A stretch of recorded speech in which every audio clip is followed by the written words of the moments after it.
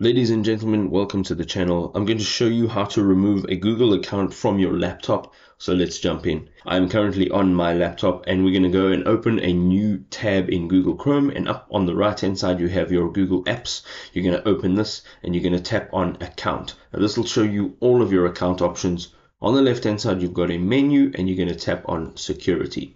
Now, if you scroll down, you will see that you will have your devices. And here we're going to tap on manage all devices. Here you will see every single one of the devices that have ever logged in with your Google account that you are now wanting to log out of. So you can see there's four computer sessions. And if you tap on any one of them, you will see that there are some additional options as well as some additional information. Now, this over here is my current device. Okay, so I cannot log out of this device in here. But if you go into one of the other ones, which you're not currently logged in with, you can go ahead and tap on sign out. And this will allow you to sign out of that specific device.